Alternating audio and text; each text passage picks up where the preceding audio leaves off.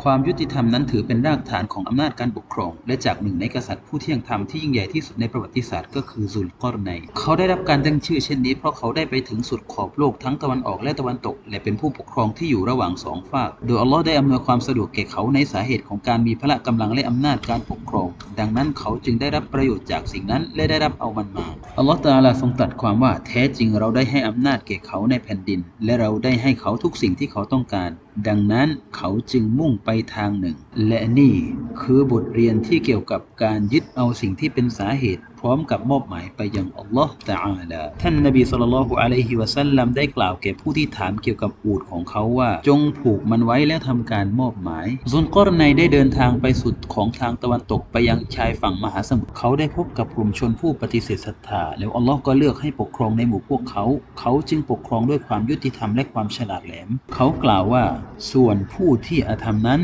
เราจะลงโทษเขา แล้วเขาจะกลับไปยังพระผู้เป็นเจ้าของเขา ดังนั้นพระองค์จะทรงลงโทษเขาซึ่งการลงโทษอย่างรุนแรงยิ่ง และส่วนผู้ศรัทธาและประกอบความดีทั้งหลายนั้นสำหรับเขาคือการตอบแทนที่ดี และเราจะพูดกับเขาในกิจการงานของเราอย่าง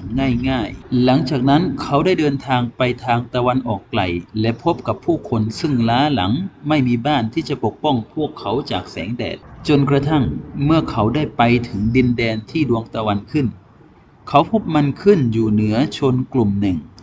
ซึ่งเราไม่ได้ทำที่กำบังแดดให้แก่พวกเขา และเช่นนี้แหละ ที่อัลลอฮ์ทรงประทานพละกำลังและความรู้ ซึ่งไปไกลถึงตะวันออกและตะวันตกแก่เขาอัลลอฮ์ตะอาลาทรงตรัสความว่า เช่นนั้นแหละ เรายัางรู้ข่าวคราวที่เกี่ยวกับเขา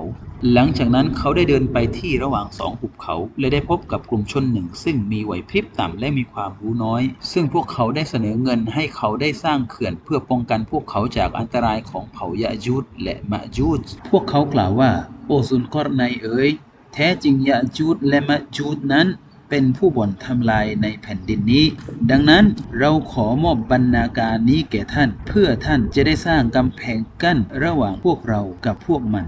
แต่เขาปฏิเสธที่จะรับเงินเนื่องจากความพอเพียงของเขามีพอแล้ว เขาขอให้พวกเขาช่วยกันสร้างเขื่อนด้วยชิ้นส่วนเหล็ก และเมื่อกำแพงเหล็กเสมอกันระหว่างภูเขาทั้งสองแล้ว เขาก็ได้เททองแดงหลอมเหลวลงไป ดังนั้นผู้คนจึงได้รับการปกป้องจากยะจูดและมะจูดดังนั้นพวกเขาคือยะจูดและมะจูดไม่สามารถจะข้ามมันได้ และไม่สามารถจะขุดโพรงผ่านมาได้ และเขื่อนนี้จะคงอยู่จนถึงก่อนวันเกียรมะ จนกระทั่งอัลลอฮ์ทรงอนุมัติให้มันพังถล่มลงมา แล้วยะจูดกับมะจูดก็จะออกมาอย่างผู้คนอัลลอฮ์ตะอาลาทรงตรัสความว่า เขากล่าวว่านี่คือความเมตตาจากพระผู้เป็นเจ้าของฉัน ดังนั้นเมื่อสัญญาของพระผู้เป็นเจ้าของฉันมาถึง พระองค์จะทรงทำให้มันพังทลาย และสัญญาของพระผู้เป็นเจ้าของฉันนั้นเป็นจริงเสมอ